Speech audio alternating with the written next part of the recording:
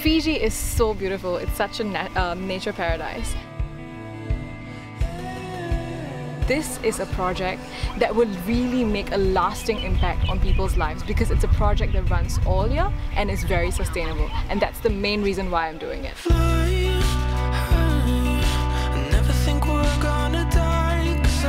So join Project Everest if you want to be part of an experience of a lifetime.